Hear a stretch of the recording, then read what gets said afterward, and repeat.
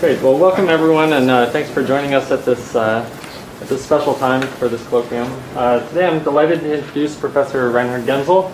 Uh, Reinhard is visiting us from the Max Planck Institute for Extraterrestrial Physics, uh, where he's director. And he's actually en route back from uh, Berkeley, where he is also on the faculty in the Department of Physics.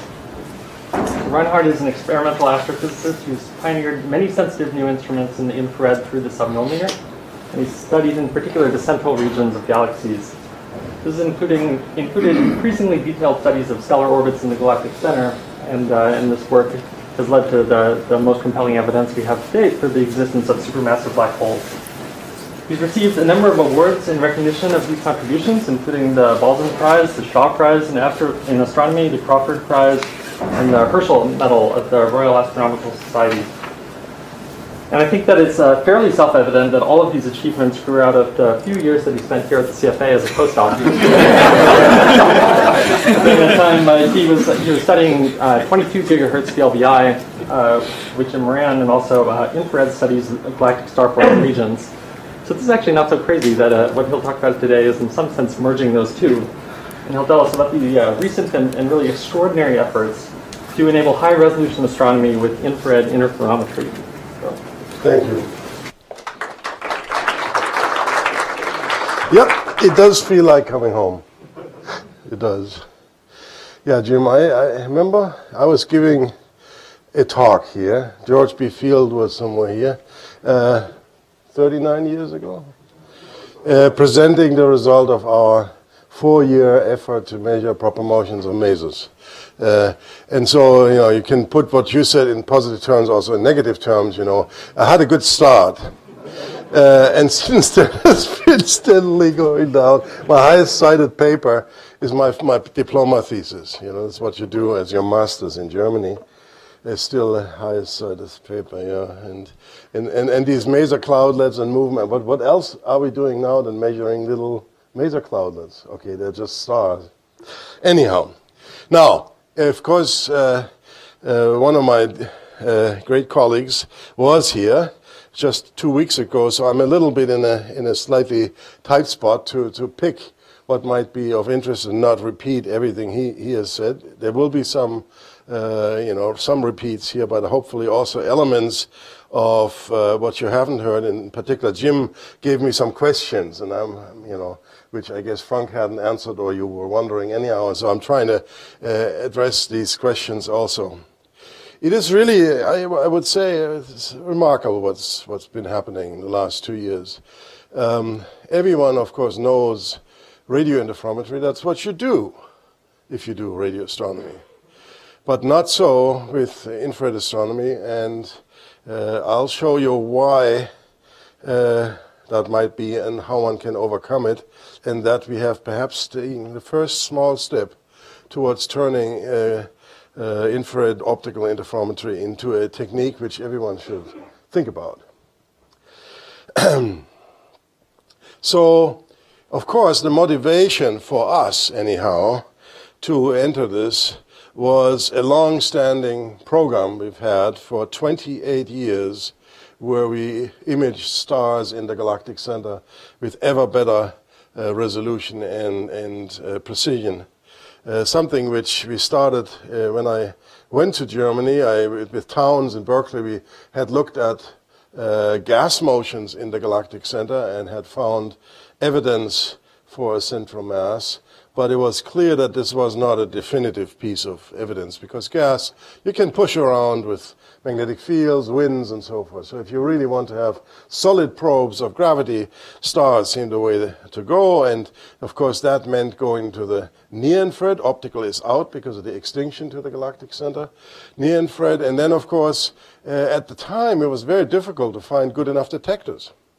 So uh, a, a, very important point was uh, uh, the time around the launch uh, of Space Telescope NICMOS, because then a detector became available which was sensitive enough that one could detect stars in the galactic center in, say, half a second or a few hundred milliseconds. Why is that important? Well, that's sort of the time of stability of the atmosphere And so you can take images where the, the, the, the, seeing has not yet distorted and removed all the diffraction limited information. And so for us, really, it all started not in the VLT that didn't exist at the time, but a precursor telescope, four meter class telescope nearby, uh, uh, the NTT, the New Technology Telescope, and we built the first speckle camera. This was in 1991, and uh, ESO let us actually use that at the telescope, which was rare. ESO is not an experimental facility usually, but it wants to have its own user instruments on, on the telescope. And so we started then, and the leader of the project then was uh, Andreas Eckert, and, and, and we, we said we could see motions of stars uh, in a few years, and we did actually. At the same time, Andrea Ghez, having done her thesis uh, in speckle astronomy on young stars uh, with Gerry Neugebauer, moved to UCLA, and Eric Becklin convinced her to do the same thing, which is to work with the instrumentalists uh, on the Keck. Uh, Keith Matthews, for instance, then also Mark Morris joined. And so they started their effort on the Keck telescope a few years later by 96 in our case and 98 in their case, we had the first motions of stars on the sky showing fairly good evidence that there was a central few million solar mass uh, uh, object. Now, must it be a black hole? Absolutely not. Absolutely not. And this, as you will see, will be a bit of my theme in this talk, and I apologize to those of you who have otherwise strong opinions. I take a very, very, uh, shall we say, high standards of what proof is. Uh, so at that time, we, we, proved that there was a mass of a few million, uh, plausibly within the central, say, 0.1 parsec. So that's pretty good evidence, but it's definitely not decisive uh, evidence. So when we had that, and the Keck group also got the same result, we were mightily proud, but we started thinking, what, what can we do better?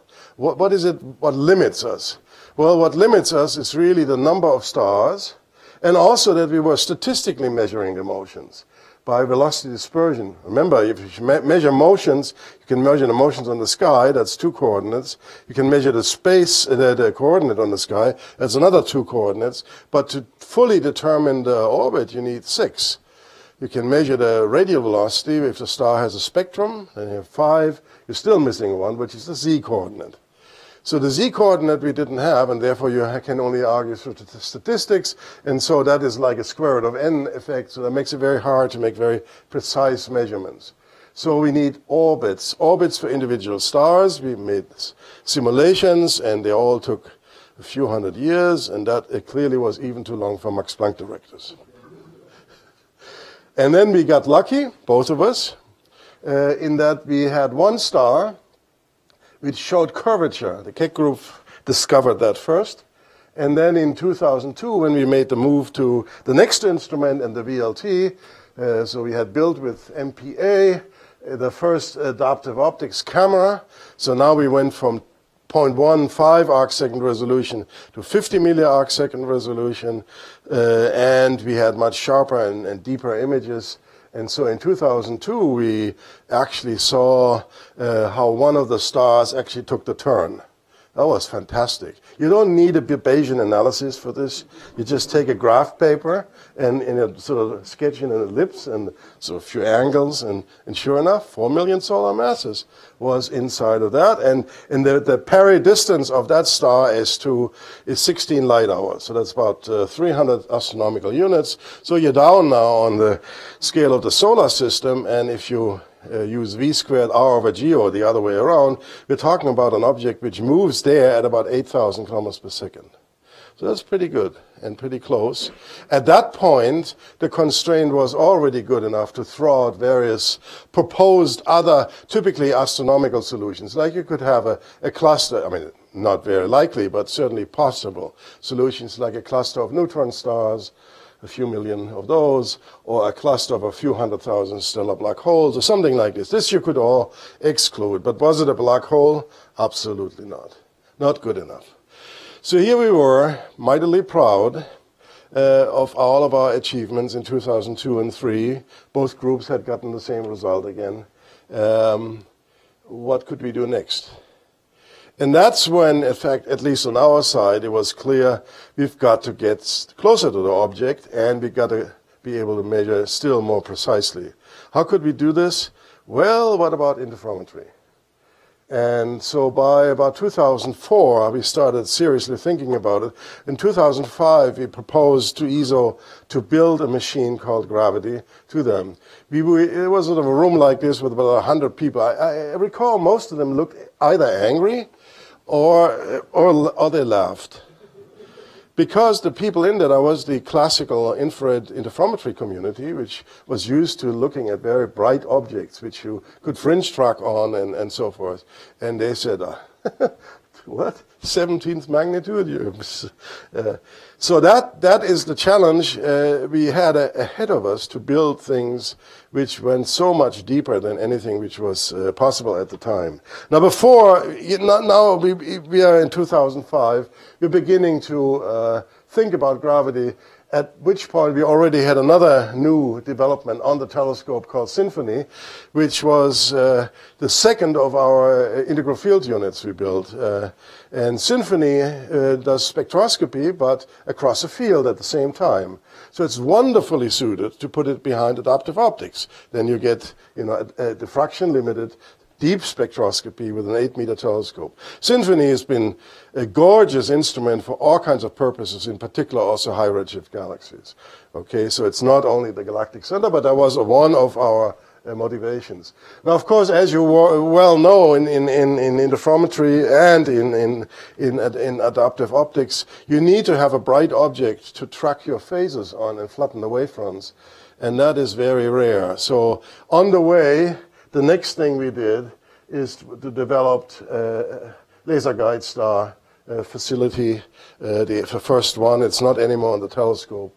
And then uh, really we were in shape to measure uh, orbits well enough so that by you know, a few years ago we had a measurement of a few percent accuracy, 5%, 10% accuracy of the central mass, we knew that the extended mass outside of the S2 orbit was only a few percent, and that the radio compact source Sagittarius A star is coincident with that black with, that mass to within a milliarc second. And then Mark Reid uh, showed that from from uh, motions, or rather not motions, of A star relative to quasars, that the motion of A star itself.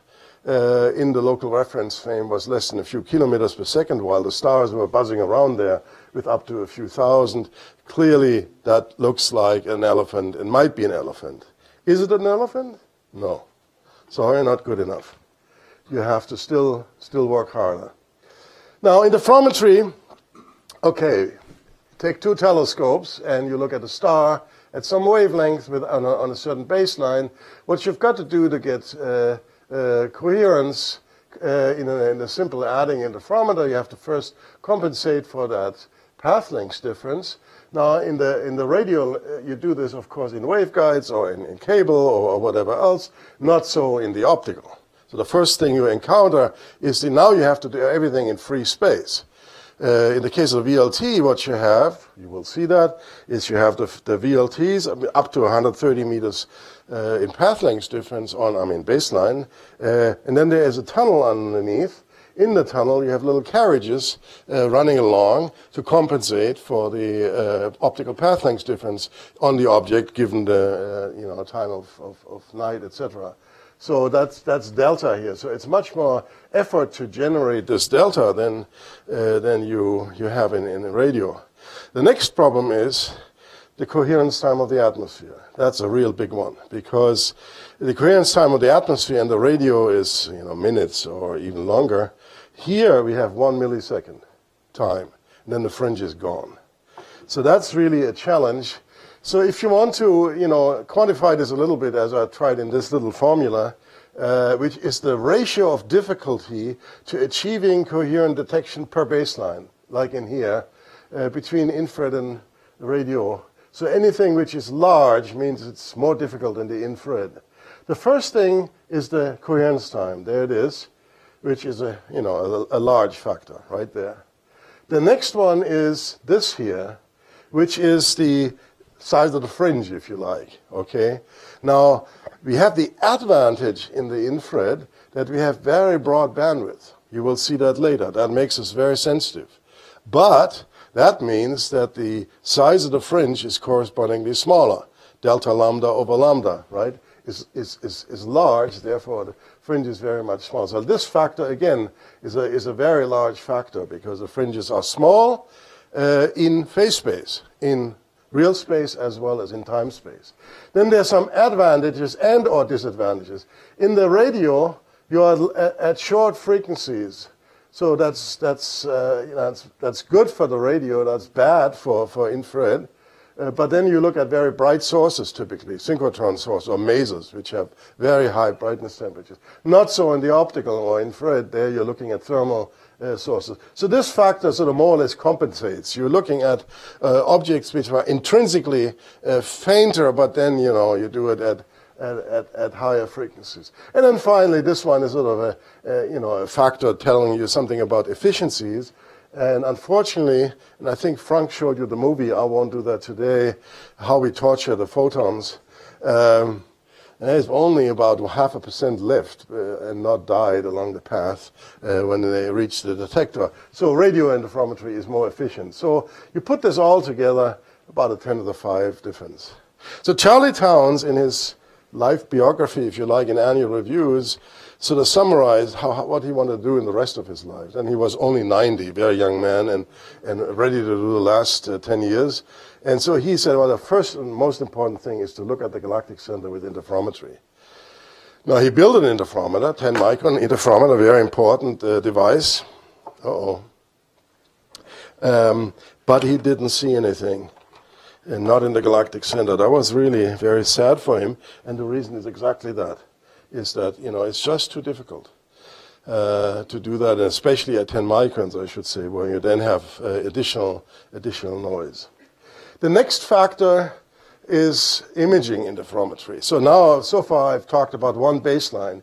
The next one is, of course, very well known. That's how uh, uh, the Nobel Prize was uh, given is the fact that you can combine the different baselines to get n times n minus 1 over 2 combinations in the UV plane and thereby improve the number of samplings so that when you do the Fourier transforming, your beam becomes decent if n is large.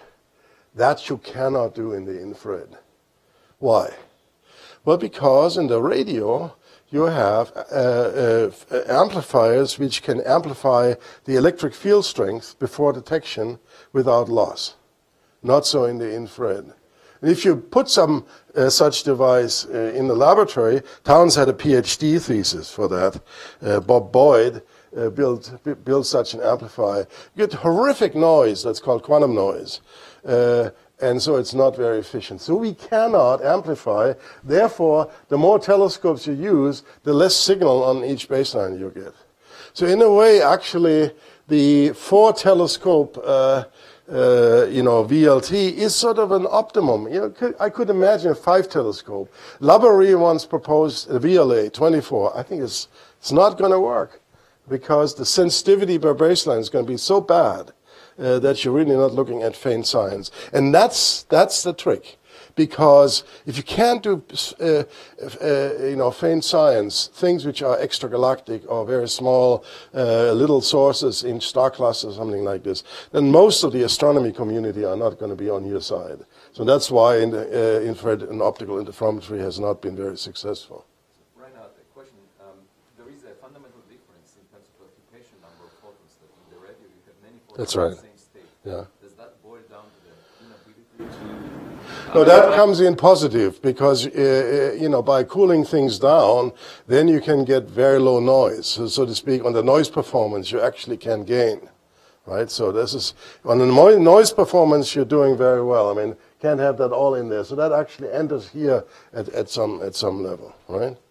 Uh, so that's, that's in favor of the infrared optical. Uh, but all the amplification issues are so negative on, the on the infrared. Okay, so now we understand that. Finally, then, this is actually the ESO VLT and the UV coverage of the four telescope and the so-called dirty beam, which is the Fourier transform of this uh, UV coverage. And you see, actually, it's not so bad. Why? because of our large bandwidth. So a radio interferometer would have very narrow streaks here because the bandwidths are so narrow. Whilst we have a 0.3, uh, you know, delta nu over nu uh, relative bandwidth, and that means that we actually each baseline has a long streak in your UV coverage, and so the the UV coverage is not that bad, and so the beams are pretty good. So it's in the galactic center we get a, a two and a half times four milliarc second beam. So that was the first answer to Jim's uh, question. Why, uh, why, why that? The next one is, of course, what did we do in gravity to overcome this? And I don't want to go through the details of this extremely complicated instrument. It's really extremely complicated. I know there was an earlier picture of Frank. Let's go back to this. Uh, this is uh, how we started. There you go. That was about two years after we started gravity, and then uh, we have a pic- you, you saw Frank here, so you can vouch for me that I'm correct, and that's uh, uh, Frank now. and, and that really is not only the delta t in time. This is really, it, it, it, it manifests itself in the complexity of this uh, development. So the first thing you have to do is you have to really make sure that at the frequency where you're sampling the fringes as well as the adaptive optics, both are key elements. You must have no noise extra from the instrument.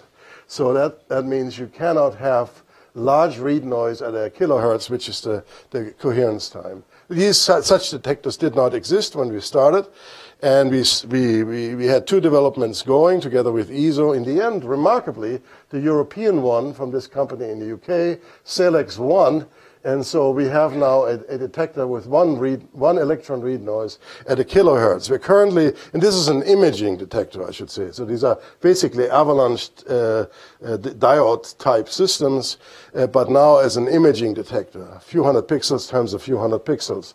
Uh, we are currently building a you know 10, 20 times bigger system with still lower read noise, both for the VLT but also for upgrades of of gravity. The next one is compact cryo optics. If you would have visited the VLT or any other uh, optical interferometer, what you would see is large uh, numbers of mirrors on benches, optics, uh, bulk optics. Well, that's warm optics, has background noise, uh, vibrations, and so forth. We decided to go into a door once you are at the beam combination laboratory. Therefore, we can do compact uh, cryo-optic. It means we are at low temperature, no vibrations, and then we go into fibers where we can immediately filter. See, in interferometry, you only are sensitive to one mode of the photons. But the adaptive optics delivers n modes because it's not, not you know, perfect. Strehl ratios are high with our system, but not 100%. So you get a lot of incoherent uh, signals, which then end up uh, producing noise.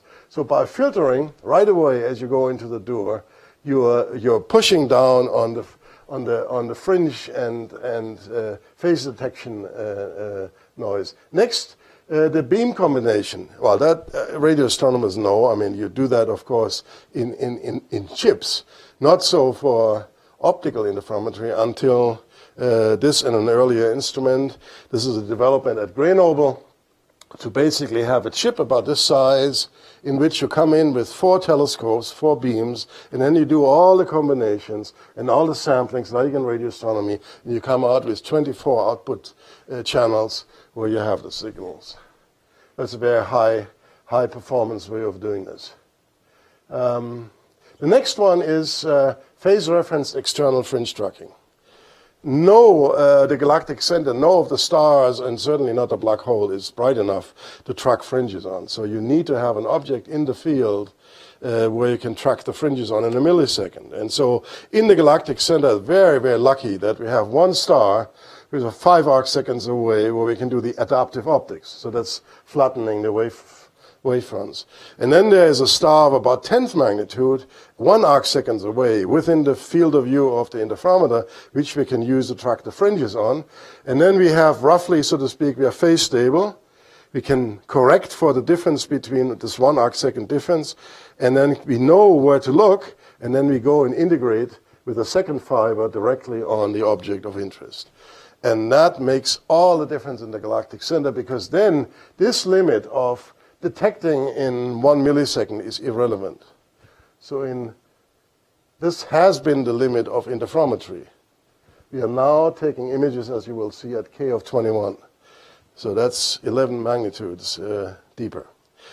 Strehl ratio high, high quality laser metrology, so we're sending lasers back to the telescopes and measure all the differences and so forth. And then, of course, we, we have various uh, modes, imaging, spectroscopy, polarization, all in one. Um, how likely was that the instrument would have worked? About 10 minus 3. it's really, I mean, we've built some difficult instruments, but this was it. And Frank Eisenhauer really has been the, the star on, of this, and you've seen him. Uh, it has cost him, but I mean, it's really been an absolutely wonderful collaboration with colleagues at the Max Planck Institute uh, for Astronomy, uh, at the Institute Uh, in Grenoble, in Observatoire de Paris, Cologne University, ESO, and in Porto in Portugal. So all of these have contributed ma major things to to gravity. And sometimes you're lucky enough that when you make a, a, a, a jump in, in, in, in, instrumentation, that at the same time you are able to sort of start using that on various things. And that happens already with gravity now. So here's a, little cartoon series of our first successes. Uh, Frank talked about, and I will of course summarize that again, the galactic center work here on the star S2 and uh, the flare motions near the last stable orbit. But that's just one part. There is, I will briefly mention that too. Uh, we've, for the first time, resolved, spatially resolved broad the broadline region spectro, spectrally in a rotating broadline region of 3C273. Here's the famous uh, uh, Seyfert 2 galaxy, which has always been used, and you know it to to argue for you know a, a unified model of uh, dust and gas distributions as AGN, where we were supposed to find a torus of uh, hot dust. Now, what we see there maybe not so clear, but here we are seeing basically these blue things are clumps of very hot dust, and the masers line up on the right flank of those. And the nucleus is right here in the center where you can see the radio continuum. So the picture, we have an edge-on disk, thin, just like the masers. Uh, so no torus. Um, some of our colleagues won't like that so much, I know, but, but, but that's what we find. So there are other things which we did expect, like, for instance, beautiful work on uh, multiplicity in uh, uh, high mass star forming uh, regions, then gas flows, very complex gas flows in good old friends like SS433 or Eta Carina, uh, where we have spectroscopic imagery, okay, uh, of detailed uh, structures. And then finally, something which, you know, you didn't expect at all. Writes one day, Sylvestre Lacour on the team, you guys with your AGNs and and galactic center black holes, I have something much better. I have exoplanet spectra. And here's one of them. That's Beta Pic B. The second uh, is already now accepted for publication. And these spectra, I'm told, is significantly better than what's uh, been possible so far. Why? Well, because interferometers are filters.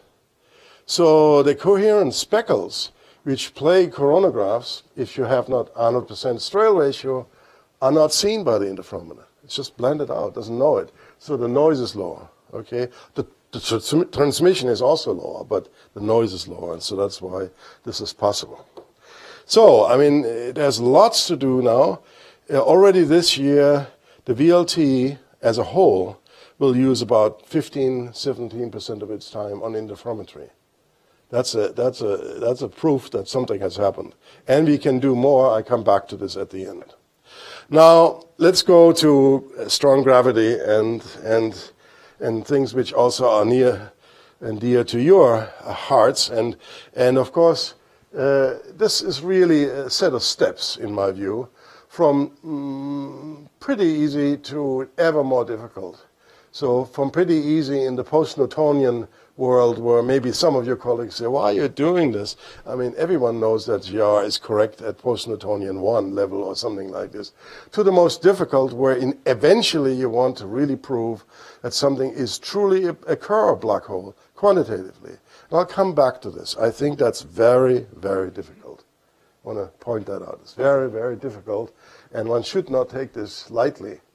And I'll take you, take you to the first two steps, some of which actually went faster than we thought. So here we are looking at the star S2 in 2018. We knew that. That, in fact, determined how when we had to deliver gravity. 2005, remember we had proposed gravity, uh, and then we knew, okay, the star is going to come back 2018 for its next peri.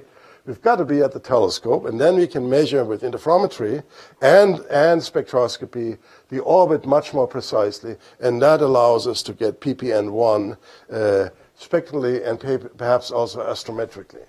So that's the gravitational redshift, and that's the Schwarzschild precession. That's what we had early on. So in fact, that's the first paper by Eckart et al. in 93. That's the first speckle image where in addition to stars which all were known, there was something near Sagittarius star. And so one of these blobs, which you can't really know, that's S2, turns out. Uh, of course, at the time, we didn't know what it was. And, and so uh, this has then turned into a sort of a, a, standard method for the Keck group and ours. So we followed this. Here, here's our first image uh, underneath here. That's 92. Uh, the red symbols. That's speckle times. Uh, here was the first peri, which I described to you. Both groups seeing clearly that there was a, a pointed mass, and it went out again, uh, and then coming around. And here we are, starting with gravity in 2017, catching this entire a key part of the, of the orbit around uh, peri. And the key thing is that the confusion, I mean, first of all, you measure it more precisely by a factor of 10 or more. And the second one is you'll suffer much less confusion. I don't know whether you see this, but the star in 2018 is a little elliptical. It's a little extended. Why is that? Because Sagittarius star emits all the time but it varies up and down. You don't know how much, but it pulls the, uh, the centroid of the emission with adaptive optics by a few percent. And that's enough to basically make your measurement in 2018 terms or post 2018 terms useless. Before, of course, we were quite happy about it, but now I think the standards have gone up. Uh, it's just not good enough to measure to a milliarc second we now want to measure to 50 microarc seconds and, and, better. And in fact, that has been done by gravity. Here's the deepest gravity image. Uh, this is an eight-hour exposure in 2018, um, uh, where the RMS noise is 21.1. So that's more than 10,000 times fainter than previous. But you do see there's still noise in here, which is not thermal noise.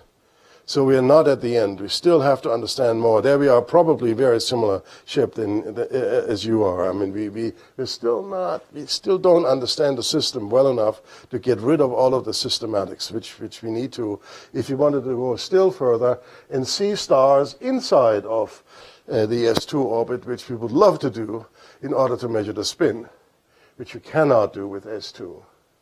So that's, that's sort of uh, gravity imaging. And so where we used to, with adaptive optics, measure the motion from maybe on, on few months scale or yearly scale, here we can do it from day to day. Uh, so the motion near peri, here's peri on the 19th of, of May last year. So here you see the motions about 500 microarc seconds per day. So that's easy. Okay, it's easy and uh, and you, you can therefore really precisely measure the, the orbit uh, of, of the star astrometrically. Now, PPN1 gravitational redshift is an effect which is seen in wavelength space. It's redshift, right? So what you have on top of the orbital excursion in velocity space, which you see here measured with SINFONI uh, on these lines of, of bracket gamma, hydrogen, and helium, uh, there is a little extra component due to general relativity uh, which we want to get. So you could say, of course, Why do we need interferometry? The effect is in wavelength space. And indeed, that's what we all thought. We too, for us, the interferometry was a general uh, step of, of, progress because we wanted to get at the uh, Schwarzschild precession. But only about March last year, around this time, 12 months ago, did we begin to realize how degenerate the problem was. Because if you don't have the orbit nailed to sub uh, percent accuracy, then they are degenerate Keplerians, which you can you know, junk around, which look in velocity space just like the GR solution, uh, um, which, which you pick. So you must be able to exclude that, and for that you need gravity. Okay, this is, this is an example of the, uh, the improvement in, in, in determination of, of, parameters. I'm sure Frank showed this. Here as an example, the period. So after the first time when the star came around, we knew it to a half a year, and now we know it to nine hours. So that's sort of a, you know, a very uh, good set of Im improvements, nine-hour uh, accuracy of prediction. So what do we need to do? Already uh, a decade ago, Tal Alexander, who unfortunately passed away last year, before he has had seen the result, uh, had done quite a bit of work to, to look into what you would have to do with gravity or, or SINFONI and so forth to get the various post-Newtonian terms. The first one you need to take care of at all times is the Römer effect, of course. That's the, just the light travel time. In fact, uh, it's, it's remarkable. I, I, I learned only two weeks ago, we can now measure the distance to the galactic center only with gravity because of the Römer effect. Okay, we don't need the spectrometer. This, didn't know that until very recently. Uh, but uh, the set, and then the first, the ppn1 beta squared effect here, uh, there it is, is the sum of the tangential Doppler uh, plus the gravitational redshift. They're about equal and to, together about 200 kilo, kilometers per second. So that's what GR would tell you on S2 what you should see. Then we come to Lense-Thirring, so the spin. And you see now we are talking about one kilometer per second. Now that's out of of any option with, with uh, the star S2. We measure typically per spectrum to an accuracy of 8 to 10 kilometers per second. So even if you make 100 measurements, you will not get to that level. So that's out for S2. Here is the Shapiro effect. That's, of course, out as well, although it's bigger, but it's out. So we really can, with spectroscopically, only get to uh, ppn1. Uh, I come back to, to the uh, Schwarzschild precession. I don't want to dwell too much on the, on, on the different techniques. Probably Frank did that. So in the end, what we did is just a brute force MC, MC uh, Bayesian inference on 14 parameters and all their correlations. And here is the term which basically represents the, uh, the PPN1. So we can measure that to, you know, 5%.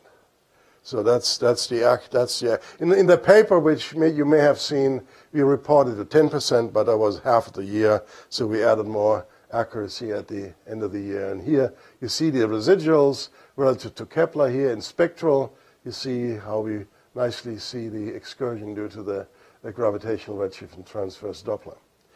Here are the residuals uh, in, in uh, astrometry, and, and, and there I want to point out to you some very nasty things with the adaptive optics, which we only realize now. If you look here, the, the residu residuals are not Gaussian distributed. And that is something which, again, adds all of a sudden a dimension of concern on the adaptive optics measurement, which we didn't know. There are some very significant longer-term excursions here. In fact, we know from the Keck group, where we weren't measuring here, this thing goes up like this. Uh, what, what's, what's, what's happening? What's happening is little mice are creeping into the images, which is 17th magnitude stars. They go going their little way. And you don't know that, right? Until you see all of a sudden the combined centroid uh, to move a little bit for a year or two. Then they're gone, the mice are gone. Sometimes you find them when they're coming out, oops, there it goes. And then you go backwards and you know that the mice, the mouse was there. So it's confusion, unfortunately. Uh, at that level of accuracy, really, you have to worry about these confusing uh, events which we didn't really know about. And I mentioned the key conclusion here, although the effect uh, is, is in wavelength space, gravity is essential if you want to have that kind of proof uh, as we have it now if it's for removing the degeneracies. Now, Schwarzschild. Well, we knew uh, we, we, we, would need some time to measure Schwarzschild. Since the orbit is very elliptical, and the Schwarzschild, the strength of the Schwarzschild precession term strongly depends on radius, more or less all of the 11.9 arc minutes of the Schwarzschild uh, precession occurs in the innermost part of the orbit. It's like a kink. So you come in on a Kepler, then you go in, then you kink to another Kepler, and you go back out. So it's not that you're precessing slowly over the orbit, which, which would happen in a circular orbit. Uh, so in fact, uh, here is the sort of the residual of uh, zero here of in our index of uh, uh, no Schwarzschild or Kepler. So that's zero here, and that's our data, and that's the prediction of Schwarzschild. So you see the effect is basically this angle here. That's the 11.9 arc minutes, so to speak, coming up. so we haven't gotten a detection yet. Formally, the data do, do look a little bit like there is something, but it's still less than one sigma. So it'll, take at least this year and maybe next year, and then we hope to have a, a significant uh, detection on the Schwarzschild precession. Part two, the flares. So the black hole, I told you, is visible all the time, more or less. And we know for many years, and, and Giovanni, you have worked on that as well with Spitzer, uh, that this emission is characterized by excursions of up to two orders of magnitude uh, of, a, of a completely red spectrum noise uh, uh source, which is, is, is, really perfectly random. There's no preferred timescale. Initially, we thought there was preferred timescale in there, but there aren't if you statistically analyze the most recent paper on this is by Witzel uh, et al. Uh, but from the beginning, when thinking about what these things could be due to, we knew was synchrotron emission, polarized synchrotron emission. Uh, we felt, well, uh, how can you generate these excursions? And it was very clear it's not an issue of more material falling in. It's not m dot. It's the energy of the electrons. Most of the electrons are at gamma of 1 between 10 and 30. They emit uh, radio millimeter photons. But to get near infrared synchrotron emission, you need gamma of 1,000. So you need to e energize very substantially. And that might mean locally uh, some fraction of the innermost electrons in order to see uh, synchrotron emission in the infrared and even more, a million, to make X-ray emission. Most people think that the X-ray emission is also synchrotron emission. And this picture comes to mind, which was running here all the time, which is a solar flare. So basically, if you're in a magnetically dominated plasma with very strong magnetic field structures, then reconnection could locally uh, energize the electrons by that amount. In fact, the analogy to solar flares holds very well. If you take the energetics of a solar flare and scale it up to the scales of the galactic center, it actually works out pretty well. But I have to say, and we have experts here in the audience, the numerical simulations have not yet confirmed that to any degree of, of really believability. But that's sort of the model we've gone uh, for. So the idea is could it be what you're seeing here is the formation of highly energetic electrons for a little while due to reconnection or shocks, and that would create hotspots uh, in, a, in a, a, region, and the hotspots then for a little while would rotate in the accretion plasma and serve as sort of a tracer of the flow. And that's something which Avi Yu and, and Avery Broderick then actually looked at and, and asked the question, can that be used to infer the, the uh, kinematics of the innermost region? And the answer is yes, it can, although the clock is really bad because the clock is going kaput amongst uh, under your fingers. Because the spot, even if you make it very, very small, will shear away by differential rotation into an arc within about half to one orbit. So I recall uh, 10 years ago when, when I happily reported at a dinner to Roger Blandford what we were doing with gravity and the flares. He said, What nonsense are you doing? Uh, I mean, this is not going to work. And indeed, I must say, for in the intermediate years, uh, we didn't put so much weight on this uh, because it seemed pretty hilarious. But then uh, there it is in a, the first flare, a good flare we saw, started at, at, this position relative to the black hole. There it is. When the, I should say, during a flare, uh, during a flare, the star becomes very much brighter. Here, in this case, about uh, a few hundred times brighter than in the sort of average state. That means you can measure better uh, in shorter periods of time. That's the key thing. Okay, so for the measurement, it's the fact that your astrometry improves, in this case, to 20 microarc seconds in five minutes. So that's really why why it is we we can measure so well. It's because source is bright, and so then it started here, and then in about 40 minutes it moved around here. The arrow bar is about this this big, so they're, they're significant. And so this is 40 minutes. Scale is you know 150 200 mil, uh, microarc seconds, and the speed is about 0.3 c, and it's clockwise motion. So normally the galactic center is, is, is up here, but S2 is down here. So in these flares, which is uh, about probability of 1%, you're down in this, this regime here. So they're not very common. Uh, you can't plan for them. You just have to hope that you'll see them. They take typically an hour or so, and then they're gone, and then you know something else happens. Uh, so that's sort of the, the mare, the, the story. Here's your hotspot, which on the scale of the uh, photon orbit or ISCO is like this, and what we saw, we think, is sort of an, an orbit. Now you see what, what's drawn here is a face-on orbit. And in fact, the analysis, various, various techniques, ray tracing, Reinhardt's spreadsheet, uh, and everything else, always delivered this up. You see in the, the red and the blue here as a function of time, the excursions in x and y, and you see, you know, goes up and goes down, goes down and goes up, pretty sinusoidal as you would expect for a face-on situation. Here's the, here's the fit. Now, I've heard the question several times over the last few days giving this talk uh, or just conversations. Well, what's the probability for a face-on situation? It's zero, right? well, it's not, you know, we can't say it's, it's definitely face on, you will see. It's, it's, our analysis shows that likely it's less than 30 degrees, so it's not zero probability, but it's not very high. Now comes another thing we saw, which is polarization loops, something Jim is very familiar with. So if you have a polarized cloud due to magnetic fields, then of course the polarization measure is perpendicular to the magnetic field.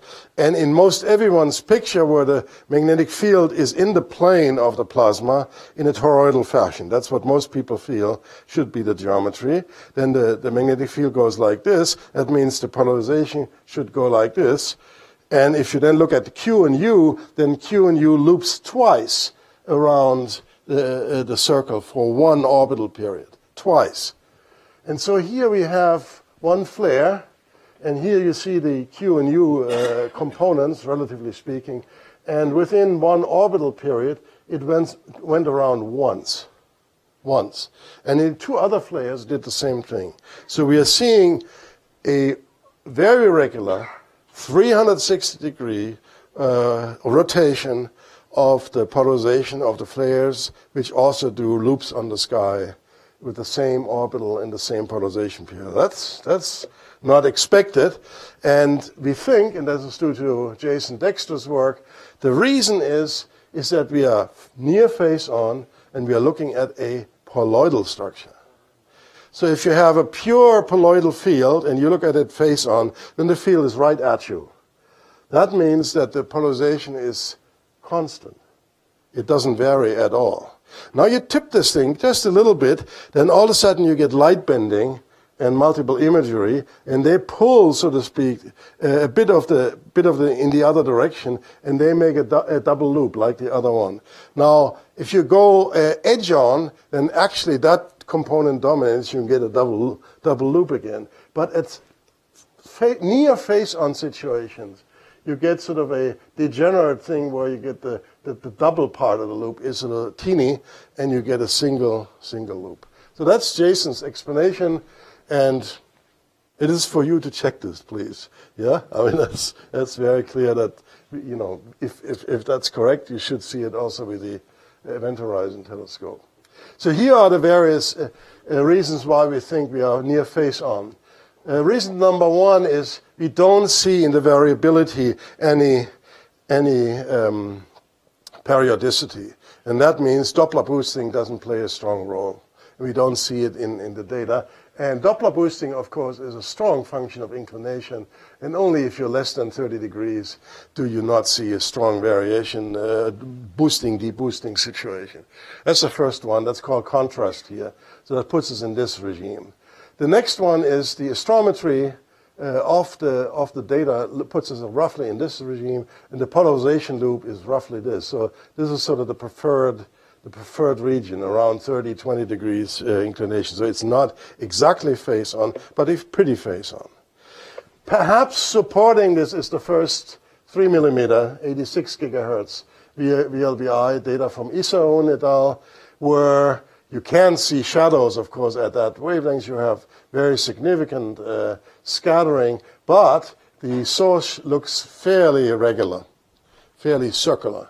So either it's a face-on uh, system where the, the, the, jet may be then along the line of sight, or it may not have a jet. Uh, that's, that's also a possibility. But if it's a jet, jetted source, as many of us believe, then indeed this circularity would also uh, uh, say it might be face on. Again, that's something which very much I hope I'm looking forward to AEHT data to, to confirm that. So that's the summary of the galactic center experiment. Uh, if, you, if you plot the inferred radii and periods of the three flares we've seen, they're here. Uh, red is, the, is a set of orbits for a Schwarzschild solution. Here's ISCO going out for 4.1 million solar mass, so as you would expect from the S2 orbit. That's an extreme Kerr.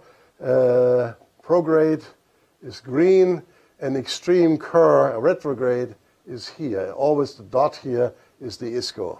So, you know, at this point we have, can make the following statements. Both the polarization and the orbital motion gives us sort of this regime here, which is near but little larger than ISCO, apparently, on average, for a Schwarzschild hole.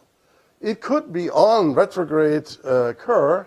You can argue then that this is highly unlikely, and perhaps not so likely on an extreme uh, Kerr prograde. Uh, now, we can make a me measurement of the mass. Uh, so different masses, of course, would lead to this set of curves to move around here. So if you take the arrows and so forth, this means that the mass in the coordinate speed and, and, and orbital times we measure is between three and three and five and a half. Okay, so that's sort of our, our accuracy. So that's, that's where the galactic center now stands. We can plot the mass distribution as a function of radius from the outer parts all the way by a factor of a million inside to close to the ISCO uh, in, in almost stable circular orbits. This is when Townes and I wrote in 87, based on the gas measurements, the first detection of the source this is this, this region here in the, in the upper right. So with the stars and now with the flares, we push this inward with always the same mass. So that looks pretty good. Pretty good. And there's no stellar contribution of any significance in this innermost region. Now, there will be some stellar black holes, as I told you. So is it a black hole?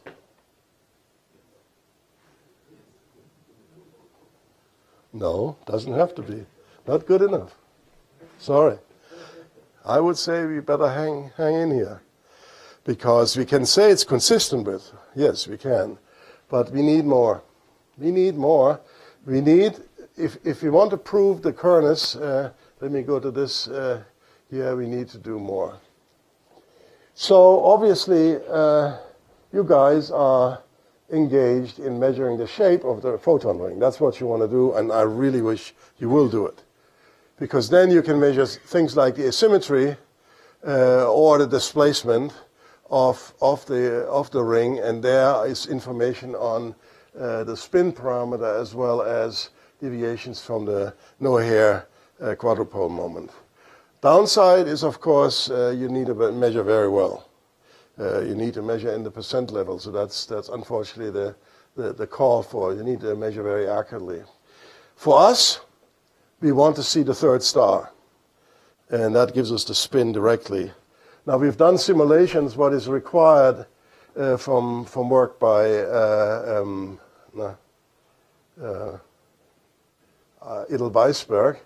And basically, in order to see with all the parameters we, we know now, to see a Lense-Thirring position, the star has to be within a few hundred Schwarzschild radii. So uh, S2 is at peri 15 or 1400.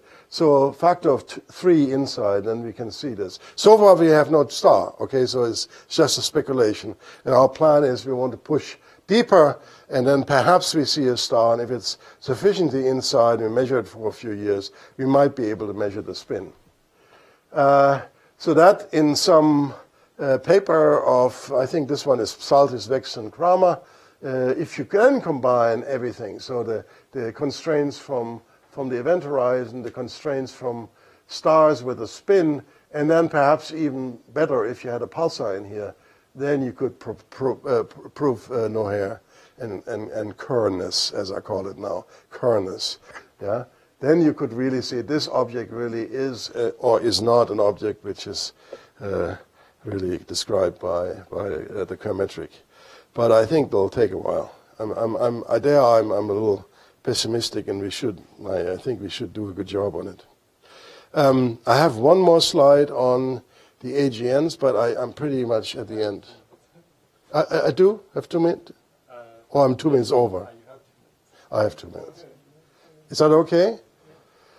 Okay, so um, yeah. So I wanted to summarize on one slide the, the work on the AGNs um, and show you where we can go with this. So the broadline region in AGNs, as you may recall, is supposed to be a thickish, turbulent, but in some cases rotating, certainly virialized set of cloudlets uh, around the AGN on scales of less than a parsec. That we know from many years of observations, including reverberation uh, mapping. Now, reverberation mapping can only give you a statistical description, so we don't, with that technique, measure masses of black holes to high precision. You cannot. You can measure it statistically well, but if you want to do, for instance, a census and then galaxy black hole evolution, then you cannot do individual black holes. It's not, not possible. With this technique, uh, where you measure the motions of the broadline region by looking at the, the broad, the blue and the red side of, the, of, the, of an emission line, and look for you know significant changes in a, in a continuous way, which would indicate a velocity gradient of rotation. And if it's rotating, well, then you can.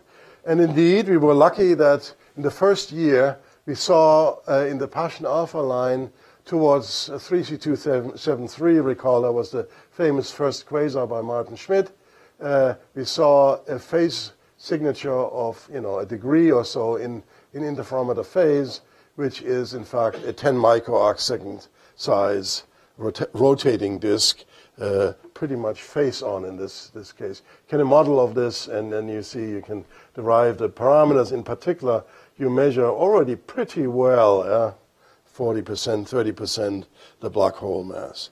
So that is interesting because the question immediately comes, how many quasars can you do? Uh, that would be interesting to many people. And indeed, with uh, gravity as it is right now, we can do tens. And we are beginning to do that. I mean, we already are in the process. We have a second rotating broadline region already. Uh, and so we were trying to, to, to sample the, the, luminosity function a little bit in order to you know, test the, the reverber reverberation uh, technique in that way. Uh, I, I, 1068 I already uh, managed. If you want to go further, we need to do something about gravity, and we need to upgrade it, and that's the last slide. So before gravity, we were at 10.5, and so there are only very few objects as you understand. With gravity, uh, we can do you know, tens of nearby, moderately nearby quasars. That's this cloud here, which is within that limit, but also the phase uh, differences in order to resolve the uh, broadline region. So that's the cloud of objects which we will be looking at now, tens of nearby quasars. But of course, we would like to get here where thousands and thousands of objects are, especially at high redshift. Can we get there? Yes, we can. The upgrades we can make is we can, for instance, do a few optical components which we know are not as optimum as they could be in an upgrade them. That's about a factor of three to four, we feel.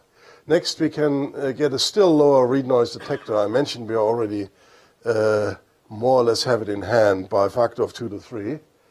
Uh, we can then equ equip all the UTs with laser, laser, guide stars. That allows us better wavefront sensing as well as higher uh, Strehl ratios uh, on the object. That's very important for quasars.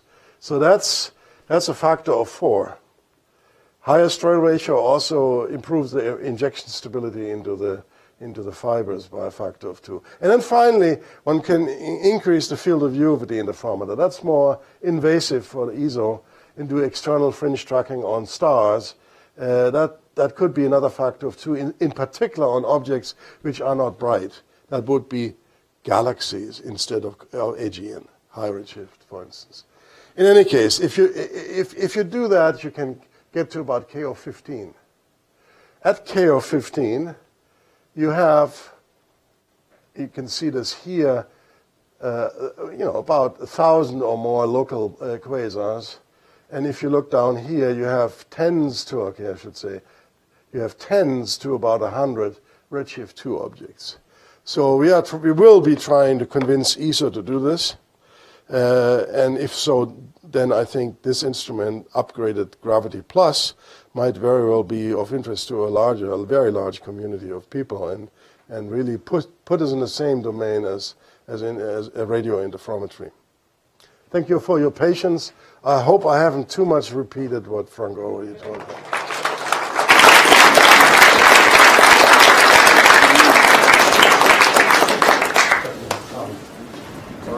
congratulations on uh, making so many breakthroughs on so many fronts. But may I uh, ask you about another breakthrough uh, front that you can make a breakthrough on, which is uh, potentially some of these AGNs may have binary black holes in them. So yes. Can you comment on Absolutely. your ability to separate them? right. That's been, of course, on our mind. And, and I mean, currently, I would say we already have two AGNs in our current sample, which we will look at this year. Um, when you do the upgrade, I think yeah, I would say tens of, of, binaries. But there will be many. I mean, how do you select that, right? I mean, so the, the there's the time variability, uh, but then there's also compact radio uh, emission and so forth. So you take these various measures together, then uh, tens, but but it could be more if if, if, if you know we, we don't know about uh, systems uh, that they are binary. No, absolutely. You know, you want to study the Parsec uh, barbaria in, in the merger. Yeah. Yeah, again, beautiful work, Reinhard. Uh, hats off to the team. So, and, and, it's good that you're being very careful about what's a black hole, whether GR is correct, and it's, it's very important. Um, what, what, I was waiting for you to mention was uh, alternatives to black holes. So, are there some alternatives? Where do you think we stand on gravastars or boson stars? Are they viable? Do we need to pay attention to them? Yeah. Where do they fit in? No, that's an outstanding uh, question, and I have to say, I'm not a good enough theorist to really put my fingers on. It's clear if you look at the papers which I refer to, they're going through a number of the examples, and there's, uh, you know, some of the the alternative gravity theories uh, predict mass dependence, for instance, uh, of space-time. So that would be something you could exclude. Um, gravastars and and the boson star. Well, I am very pessimistic on the gravastar. I mean, you have to come so close, in my view, to the.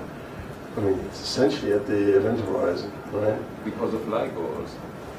Yeah, even for LIGO. Yeah, no, I agree. Uh, the boson star might be a little easier, but as you know from the, the, the Rezzolla Group's paper, you know, even even uh, the ring this doesn't necessarily see a difference between a. Yeah, it's, it's in there, right? It's within your radius, so you, know you you're very sen- you're not very sensitive. if you had orbits which go in, then maybe, but then then those stars would be disrupted. So I would have to say not very optimistic. On the, on the other hand, of course, you could say Occam's razor kills that one. I mean, it's, it's you know, if you have a boson star, it'll accrete bo- baryons, and then you know, sure enough, pretty soon it's a Kerr-Bloch one, right? I mean, so you be flopsick about it. I'm just wondering, you, you've done this on the VLT, these, these eight meter telescopes. Is there any room, frankly, for the smaller custom interferometers that being developed? Say, Three magnitudes. yeah. Three magnitudes. I mean, we have that on the mountain. We use it, in fact, for, for installations, and it's being used by quite a bit of the stellar work. So the, the bright case work is actually AT work. Uh, but as soon as you want to have the, the, the faint stuff, that three magnitude you cannot miss. You, you can't get some of it back from um, fewer reflections and higher throughput? A little bit, yeah. But not the full, not three magnitude. not the full three magnitudes. yeah. Okay, well, let's see, uh, if future questions uh, just come up after the talk. and- Okay.